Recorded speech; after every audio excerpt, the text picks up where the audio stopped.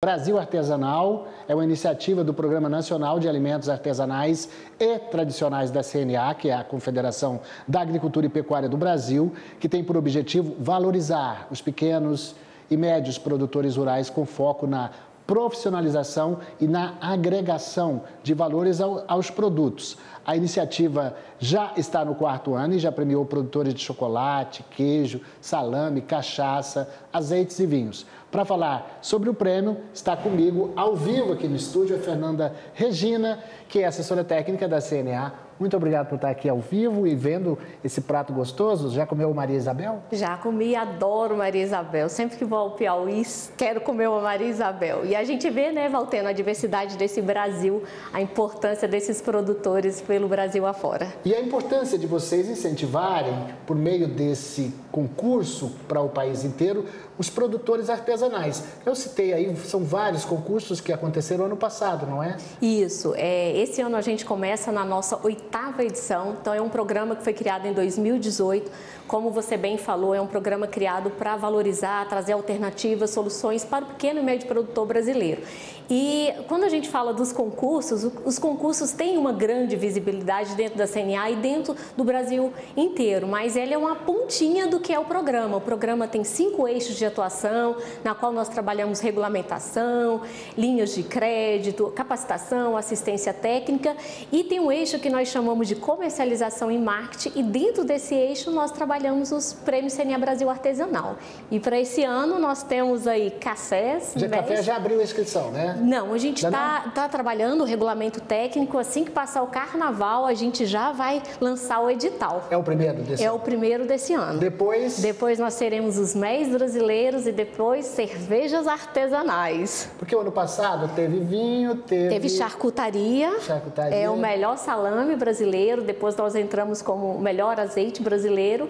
E para fechar o ano, nós fechamos com chave de ouro os melhores vinhos e espumantes brasileiros. Essa da, da cervejaria é interessante, né? Que tem muitas cervejarias artesanais. Me parece que no sul do Brasil é, são mais de centenas, né? São, são centenas, mas a gente faz até uma ressalva aqui, é, Valteno, que para participar do concurso da CNA, principalmente bebidas, produtos de origem animal, esses produtos precisam ter o registro né, de, pela inspeção é, sanitária, porque é uma das exigências nossas para participar do nosso concurso. É artesanal, mas aí o produtor já tem que estar alinhado, já tem que estar com certificado, vistorias, Anvisa, todas essas coisas Todas necessárias. essas coisas legalizadas certinho para poder participar do nosso concurso. E é importante isso para formar a renda do produtor rural? Ah, é importante, né, Valteno? Porque a gente entende que esse produtor, uma vez que ele é legalizado, esse produto registrado, ele pode é, vender de uma forma legal esse produto em todo o território nacional. Um caso que você vai falar daqui a pouco, amanhã é Dia Internacional do que- do Queijo, o selo arte, né? É um selo que veio é, para ficar, agregar valor aos produtos artesanais brasileiros. E esse produtor, uma vez que ele tem um serviço de inspeção municipal, estadual e ele adquire esse selo arte, ele pode comercializar esse queijo em todo o território brasileiro. E a gente viu muito isso. Quando a gente trabalhou o concurso em 2022, o melhor queijo brasileiro, muitos produtores que nem tinham selo arte despertou essa, essa curiosidade, essa necessidade, até porque o queijo ficou conhecido nacionalmente no Brasil inteiro. E eles foram atrás desse selo arte, né? A gente tem um case de sucesso, é, um produtor que ficou em segundo lugar é, numa categoria nossa e hoje ele tem 16 selos artes. Então todos os queijos produzidos pela queijaria Almeida Guimarães de Itaiandu têm o selo arte. Então, Pois é, Fernanda, eu fico muito feliz. Eu ia, eu ia abordar assim essa questão que amanhã é o Dia Internacional do Queijo, a gente está vendo imagens de queijo e a gente sabe a importância que tem o Senar nesse, nesse processo de formação de mão de obra e de formação tecnológica para o homem do campo. Lá em Minas Gerais demorou um tempo até que os produtores conseguissem passar pelos processos de seleção, de aprimoramento e o queijo brasileiro, esse queijo Minas artesanal, chegou a ganhar concursos na França. Isso aí. É, essa semana mesmo, o queijo mineiro foi premiado na França novamente, né? A gente tem muitos casos de sucesso desses produtos brasileiros, não só queijos, como os vinhos, azeites. Nós temos um ganhador de concurso de azeite que ele foi premiado só 89 vezes. Uma produção recente de 2017, né? Veio fazer parte do concurso da CNA, ganhou esse prêmio conosco. Então a gente vê a visibilidade que esse programa traz para esses produtos.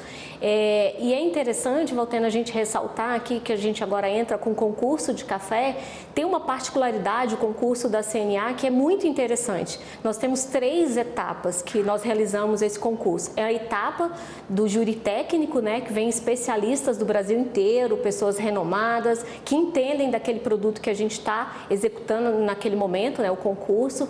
Eles fazem uma seleção, separam os melhores, cinco melhores de cada categoria que a gente está trabalhando e a gente leva esse produto ao conhecimento do público. Quem vai escolher esse melhor produto e vai votar é o público brasileiro. E a gente é, observa nesses anos de concurso que a gente está realizando, nessa nona edição, a visibilidade que a CNA hoje, com esse, é, esse programa, com essa ação, esse, essa premiação, traz para os produtos e produtores brasileiros. Uma questão que eu queria perguntar para você é o caso do café, que vai ser o primeiro desse ano. É, a gente está vendo a, a situação do, climática no Brasil que está muito difícil para todo mundo, né? Então isso também chama muito a atenção para a realidade de cada região, porque não é só participar do concurso, certamente tem um ciclo de debates e, e, e eu queria te perguntar também, tem o júri técnico, mas tem o povo também que faz parte, né? É. O júri popular, né? Desses, é. é todos esses concursos têm um júri popular? Todos os é, todos os prêmios nós tem essa, essa característica né, de ter etapa do júri técnico, depois vai para a etapa do júri popular e tem avaliação também da história desse produtor. E no caso agora desse concurso de café, que a gente está é, já na fase de fechamento do regulamento, Valteno, a gente quer valorizar o produtor verticalizado. Então a gente está estudando uma maneira de colocar no regulamento é uma bonificação, uma pontuação talvez de 10% para aquele produtor que ele produz o café, ele torra o café e ele comercializa o processo, ou o café, porque a gente quer incentivar esse produtor que é totalmente verticalizado. Agora vamos informar para quem não está tá nos assistindo, no caso, ainda vai ser aberto ainda, ela, o, o, a, o edital vai, vai, ser publicado. Como é que é, faz para participar, Fernanda? Então, a gente vai, é, assim que o carnaval passar, a gente vai abrir né, as inscrições a gente vai fazer várias matérias nas redes sociais e divulgar o máximo em todos os nossos veículos de comunicação para essa informação chegar no produtor. É muito importante que ele leia esse regulamento técnico. É, tem muitas particularidades né, para que ele possa participar desse, desse concurso. Ele faz essa inscrição, ele faz uma declaração de produção. É, a gente vai trabalhar com duas categorias, o café arábica e o canéfora. Então, ele pode participar das duas duas é, categorias e faz a inscrição, vai enviar as amostras para a sede da CNA. A gente vai fazer essa, vai receber esses especialistas aqui na sede. A gente ainda está é, verificando as possíveis datas, mas no edital já vai ter todas as datas definidas. É, uma vez avaliado esses cafés, a gente vai ter os cinco finalistas de cada categoria e aí é, já dou, dou spoiler aí que a gente já está vendo o local que vai ser feito o júri popular, que essas, esses cinco finalistas de cada categoria dia é, serão preparados esses cafés, ou a gente vai fazer no Mercadão em Belo Horizonte ou no Mercadão de São Paulo. A gente está vendo provavelmente de. É um spoiler, tá?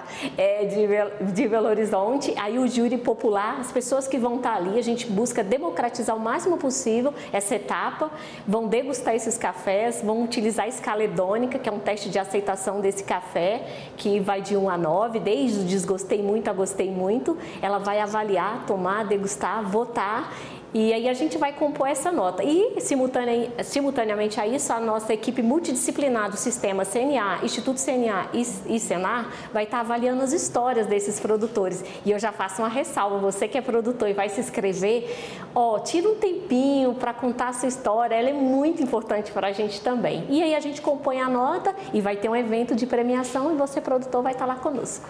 Muito bem, muito obrigado. Conversei aqui com a Fernanda Regina, assessora técnica da CNA, falando dos concursos que vão acontecer ao longo desse ano. Muito obrigado. Obrigada a você Bons cafés, Obrigada. Mês e que mais? Cerveja artesanal. E cerveja artesanal. Gente, olha só, o Agrotarde fica por aqui. São